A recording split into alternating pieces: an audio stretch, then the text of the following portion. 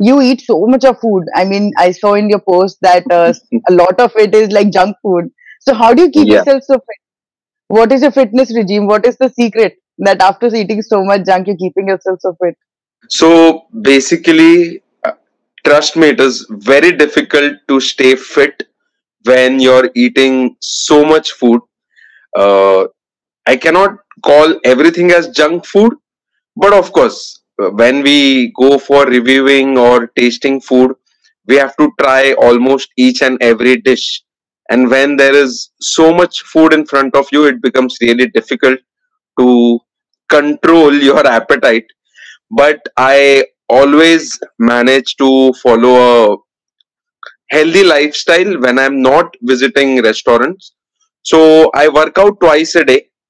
I have around three to four liters of water every day, and I take a good night's sleep around seven to eight hours.